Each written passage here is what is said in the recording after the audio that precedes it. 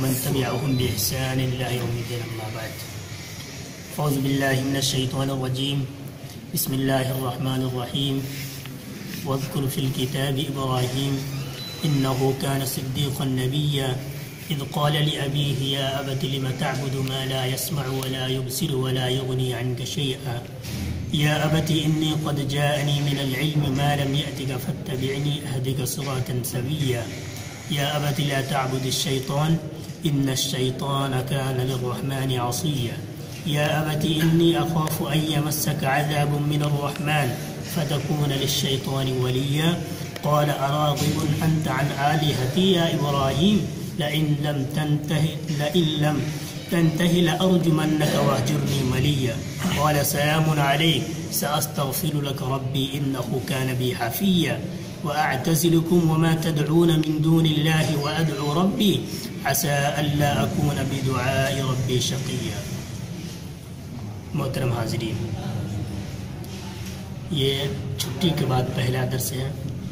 اس میں ہم آپ سبھی کا خیر مقدم کرتے ہیں اور اسی طرح سے کال فار ٹروتھ کے منتظم، منتظمین کا بھی شکریہ ادا کرتے ہیں جنہوں نے پھر اپنا کام شروع کر دیا۔ تو اس سے پہلے جو درس ہوا تھا اس میں ابراہیم علیہ السلام کا پیغام، اپنے باپ کے نام۔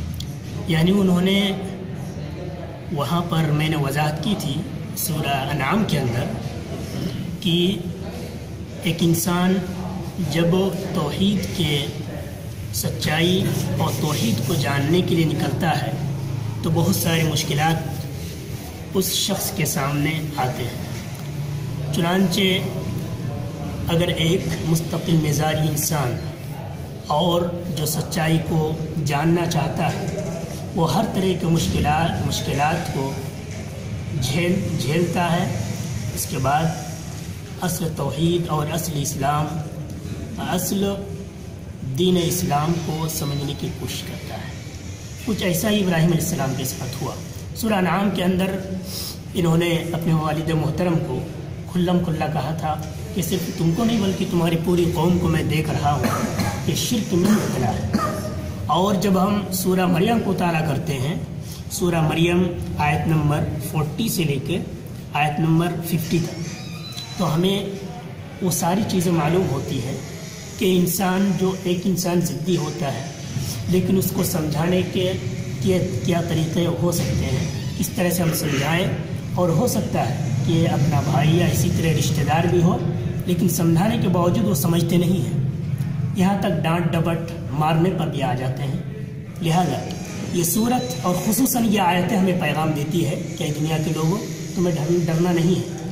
جب تم راہ حق کے لیے بلاؤ گے تو بہت ساری مشکلات آئیں گے۔ تو آئیے دیکھتے ہیں کہ یہ آیتیں ہمیں کیا پیغام دینا چاہتی ہیں۔ چنانچہ اللہ رب العالمین فرماتا ہے ود قرف کتاب ابراہیم ابراہیم علیہ السلام کا کتاب کے اندر تذکرہ کرو، ان کا ذکر کرو، کیوں؟ انہو کان صدیق النبیہ وہ بہت ہی صدیق یعنی سچ بولنے والے نبی تھے۔ آگے اللہ رب العالمین نے کوٹ کیا ہے کہ اذ قال لی ابیہ یا ابت لما تعبد ما لا يسمع ولا يبصر ولا يغني عنك شيئا؟ کہ جب ابراہیم علیہ السلام نے اپنے والد محترم سے کہا، کیا کہا؟ یا ابتی اے میرے والد محترم، اے پتا جی او میں فادر لیما تعبدو؟ آپ پرستش کیوں کرتے ہیں؟ آپ پوجا پاٹ کیوں کرتے ہیں؟ آپ بندگی کیوں کرتے ہیں؟ آپ اپاسنا کیوں کرتے ہیں؟ آپ ورشپ کیوں کرتے ہیں؟ کس چیز کی مالا اسمعو جو نہ سنتا ہے، اور نہ ہی ولا یبصر، جو نہ دیکھتا ہے۔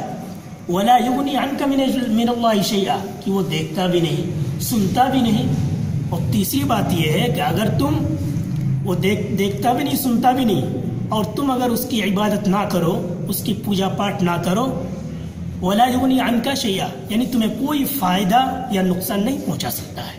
اسی پر بس نہیں کیا، بلکہ آئیے دیکھتے ہیں، اور کس طرح سے سمجھاتے ہیں کہ یا ابتی انی قد جانی من العلم ما لم یأتک فاتبعنی اہدک صراطا سبیہ۔ اے والد محترم، انی قد جانی من العلم۔ میرے پاس وہ علم ہے، میرے پاس وہ گیان ہے، میرے پاس وہ نالج ہے۔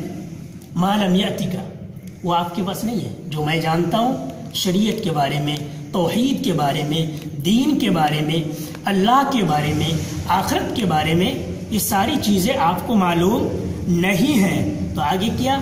فقط بینی تو آپ کیا کیجیے؟ مجھے فالو کیجیے۔ میرے پیچھے چلیے۔ فتبعنی میری پیروی کیجیے۔ اس کی صورت میں کیا ہوگا؟ اہدکا، میں آپ کی گائیڈ کروں گا، سیدھے راہ دکھاؤں گا، سیدھا مارگ دکھلاؤں گا۔ سرات الزویہ بالکل سرات مستقیم کی جانب میں رہنمائی کروں گا۔ پھر آگے دیکھیے کیا ہی بہترین انداز میں سمجھانے کی کوشش کرتے ہیں۔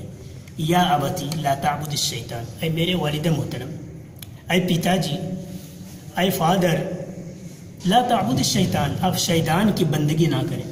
شیطان کی پوجا پاٹ نہ کریں، شیطان کے سامنے رکو نہ کریں، شیطان کی کہی ہوئی باتوں کو نہ سنیں۔ کیوں؟ ان الشیطان کان للرحمن عصیہ بے شک شیطان اللہ کا نافرمان ہے، رحمان کا نافرمان ہے۔ آگے دیکھیے کیا ہی بہترین انداز میں، پیارے انداز میں سمجھانے کی کوشش کرتے ہیں۔ اس کے باوجود دیکھیے آخر میں ان کے والد محترم کا کیا جواب ہو، کیا جواب ہوگا؟ کیا ریپلے وہ دیں گے آگے دیکھیے کیا ہوتا ہے۔ یا ابتی، انی اخوف ان یمسک عذاب من الرحمن فتکون للشیطان ولیا۔ ای والد محترم، انی اخوف مجھے ڈر ہے، مجھے ڈر لگتا ہے کس چیز کا۔ ان یمسک عذاب من الرحمن، کہیں ایسا نہ ہو۔ اللہ کی طرف سے تم پر عذاب نازل ہو پنشمنٹ ملے۔ اور اسی طرح تمہیں سزا ہو، اللہ رب العالمین کی جانب سے یاد نہ ہو۔ فتکون علی شیطان ولیہ، جس کی وجہ سے تم کیا ہو جاؤ گے شیطان شیطان کا دوست بن جاؤ گے اور آگے، اب دیکھیے، جو آیتیں میں نے پڑھی ہے اس میں چار جگہ یا اوتی یا اوتی اتنے اچھے طریقے سے سمجھانے کے باوجود، چار چار دفعہ اگر آپ کسی بھی انسان سے بات چیت کریں، اور بار بار، جناب، محترم، اور اچھے انداز میں آپ سمجھائیں اس کے باوجود اگر وہ نہیں سمجھتا ہے، پھر دیکھیے آپ کے دل میں کون سی چیز اور پتہ نہیں کیا کیا آپ محسوس کریں گے۔ لیکن قربان جائیے، یہاں پر کسی دوسرے کو دعوت نہیں دے رہا ہے۔ کسی دوسرے کے سامنے توحید کی تعلیم نہیں دی جا رہی، بلکہ خود اپنے والد کو تعلیم دے رہے ہیں۔ اور بار بار والد محترم، اے میرے ابو جان، اے میرے پتا جی ہر اعتبار سے درد بھرے انداز میں توحید کی دعوت دینے کی کوشش کرتے ہیں، لیکن پھر بھی چار مرتبہ والد محترم والد محترم والد محترم والد محترم کہنے کے باوجود آخری میں دیکھیے کیا ہوتا ہے۔ جواب دیتے ہیں، قال اراغب انت عن آلیہتی یا ابراہیم، لئن لم تنتہی لارجمنک وحجنی ملیا قال اراغب انت عن آلیہتی کیا تم میرے معبود سے، میرے دیوتاؤں سے جنہیں ہم پکارتے ہیں، ان سے تم اعراض کرتے ہو؟ ان کی باتوں کو نہیں مانتے ہو؟ ان کی باتوں کو تسلیم نہیں کرتے ہو؟ ان کی باتوں کو تم ایکسپٹ نہیں کرتے ہو؟ اے ابراہیم لَإِلَّمْ تَنْتَهِ خبردار، اگر تم نے ایسا کیا تو پھر لَأَرْجُ مَنَّكَ لَأَرْجُ مَنَّكَ یہ نون تاکید ہے۔ علماء کرام جو عربی سے واقف وہ جانتے ہیں کہ اس کے اندر طاقت کتنی ہے۔ یہ تاکید ہے لَأَرْجُمَنَّ کا کہ تمہیں ضرور بضرور ماروں گا۔ ضرور بضرور تمہیں ہلاک کر دوں گا۔ رجم کر دوں گا۔ وہ جنی ملیہ چنانچہ تم کیا کرو، مجھ سے الگ ہو جاؤ۔ آگے دیکھیے، ابراہیم السلام کا جواب کیا ہوتا ہے؟ کہ چار مرتبہ والد محترم والد محترم، اچھے انداز میں سمجھانے کے باوجود، انہیں ڈانٹ ڈپٹ کرنے کے باوجود کیا ہی بہتر انداز میں جواب دیتے ہیں؟ قال سلام علیکم۔ تم پر سلام۔ سأستغفر لك ربی انہو کان بی حفیہ۔ کہ میں اپنے رب سے تمہارے واسطے استغفار کرتا رہوں گا، تاکہ اللہ رب العالم تمہارے اندر سمجھ دے، فہم دے۔ چنانچہ یہ مفسر کرام اس کے بارے میں کہتے ہیں کہ قال سلام علیک، یہاں پر آپ لوگ یہ نہ سمجھیں کہ عام طور پر ہم لوگ جو آپس میں سلام کرتے ہیں کہیں بھی ملنے جلنے پر کہیں بھی ملاقات ہونے پر وہ سلام نہیں ہے۔ وہ سلام تو آپ خوشی سے کرتے ہیں، کسی سے مل کر جاتے ہیں، اس وقت کرتے ہیں، لیکن یہاں پر جو سلام کا ذکر ہے، یہ ترک مخاطفت ہے۔ ترک مخاطبت، ترک گفتگو یعنی گفتگو کو چھوڑنا ہے، ان سے بات نہیں کرتا مثلا اب کہیں پر بات کر رہے ہیں اور دوسرا شخص آ گیا۔ اور آپ اچھی چیزیں باتیں کر رہے تھے، آپ انہیں سمجھا رہے تھے، لیکن وہ آپ کی باتوں کو نہیں سمجھ رہا ہے۔ چنانچہ، اس طرح کے مقام پر اللہ رب العالمین کا فرماتا فرمان ہے خاتم جاہلون قالوا سلام سورہ انیس انیس پارے میں ہے اس طرح سے کہ ایسے مقام پر آپ انہیں سلام دے کر نکل جائیے۔ یہ اور عام سلام میں فرق ہے۔ وہ کیا ان سے آپ گفتگو نہیں کرتے ہیں، جس کی وجہ سے وہ سلام کرتے ہیں کہ ان سے بات کر کے کوئی فائدہ نہیں، چنانچہ ہم اپنی جگہ لیتے ہیں، اپنا راستہ دیکھتے ہیں۔ چنانچہ وہی سلام یہاں پر کہ ابراہیم علیہ السلام نے کہا، سلام، ہو گیا، میں اپنا کام کرتا ہوں، تمہارے لیے میں دعا کرتا ہوں۔ اور یہاں پر یہ واضح ہے کہ یہ دعا اس وقت اس وقت کی بات ہے جب ابراہیم علیہ السلام کو یہ معلوم نہیں تھا کہ مشرق کے لیے دعا کی جا، دعا کی جا سکتی ہے یا مشرق کے لیے دعا کرے چنانچہ اب سورہ توبہ غالباً آیت نمبر ایک سو چودہ کے اندر اس کی وضاحت ہے۔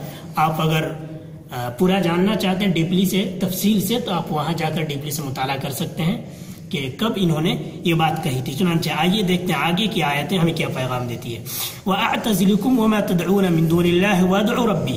چنانچہ ابراہیم السلام کہتے ہیں، وَأَعْتَزِلُكُمْ، میں تمہیں چھوڑتا ہوں، وَمَا تَدْعُونَ مِن دُونِ اللَّهِ۔ اور ہر ان چیزوں کو جنہیں تم اللہ کے علاوہ، اللہ کے اترکت پوجا پاٹ کرتے ہو، جن کو تم پکارتے ہو۔ ادعو ربی اور میں صرف اور صرف اپنے رب کو ہی پکاروں گا۔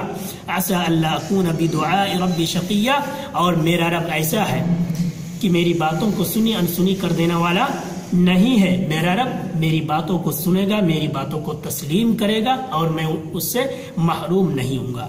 چنانچہ ان آیتوں کے اعتبار سے جب ہم اپنے معاشرے پر غور کرتے ہیں، اپنے سماج کو دیکھتے ہیں، اپنے سوسائٹی کو دیکھتے ہیں، اپنے یونیورسٹیز کو دیکھتے ہیں، اپنے کالجز کو دیکھتے ہیں، تو ہمیں یہ آیت ہمیں پیغام دیتی ہے کہ ہم جہاں پر بھی جائیں گے، حق کی دعوت دیں گے، حق کی طرف بلائیں گے، صحیح چیزوں کی رہنمائی کریں گے، تو پتہ نہیں کتنے طرح کے مشکلات ہمارے سامنے آ سکتے ہیں۔ لیکن اگر ہم ان مشکلات کی وجہ سے حق کی بات کرنا چھوڑ دیں حق کو دوسروں کے سامنے ان کی حقانیت اور سچائی، یہ ساری چیزیں ہم چھوڑ دیں تو پھر ہم وہاں ناکام ہو جائیں گے۔ تو یہ آیتیں ہمیں پیغام دیتی ہیں کہ ہم ہر اچھے کام کو بالکل حق علل اعلان ہم ان چیزوں کا وہ کریں۔ اللہ رب العالمین سے دعا ہے کہ اللہ رب العالمین ہم سبوں کو کتاب و سنت کے مطابق توحید پر قائم رہنے اور اپنی زندگی کو کتاب و سنت کے مطابق کرنے کی توفيق ده سبحان ربك رب العزة عما يصفون وسلام على المرسلين والحمد لله رب العالمين.